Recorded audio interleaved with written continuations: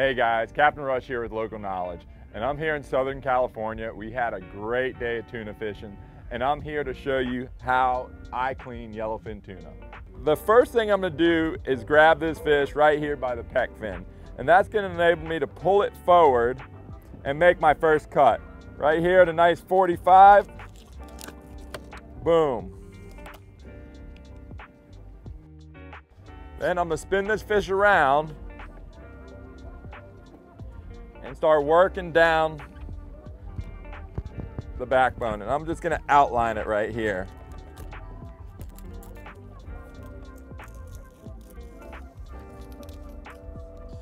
Come through the back,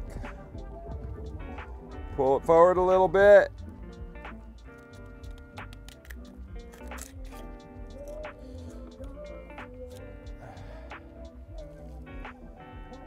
Now I'm just gonna start working down the backbone all the way to the tail section.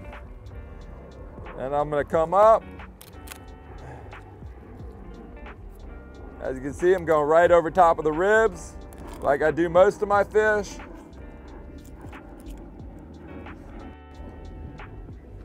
I'm just gonna lay this section off to the side. Okay, then I'm gonna flip him over same thing.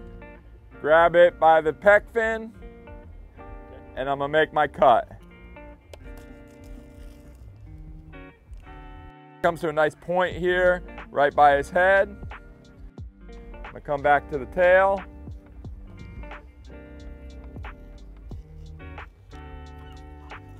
Outline him again.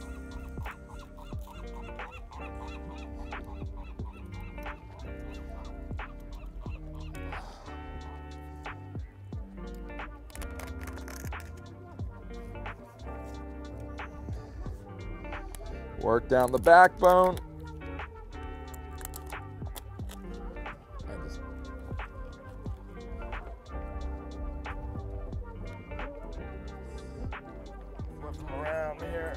Now, for this demonstration, I'm cutting on a small cutting board here.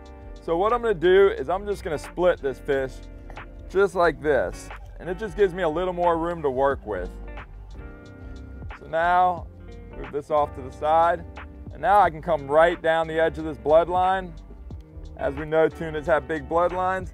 And I can come right down just like that, remove that section.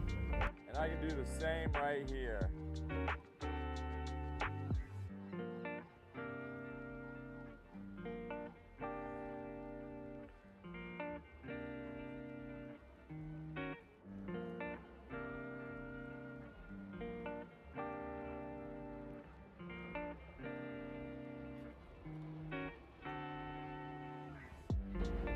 That section's gone.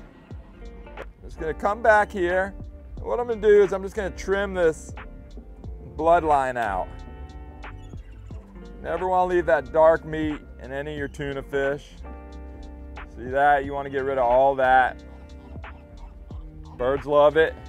We're gonna move this off to the side. Come over here, do the same thing. Trim out our bloodline.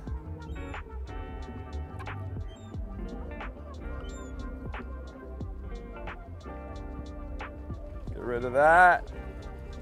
You see there's no dark on there. And we're gonna just get rid of some of these bones the rib cage. What I like to do is just get rid of that little tail section right there. And now I got some nice loins right here. That. Come right down along the edge of my bloodline. And I'm just working my knife right down along the skin and the fillet.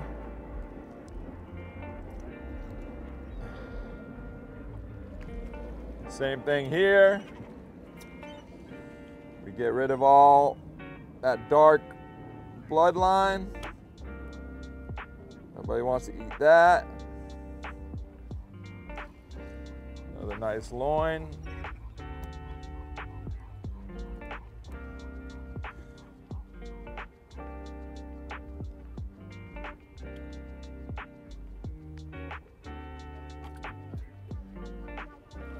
You can see here I got four nice sections of meat.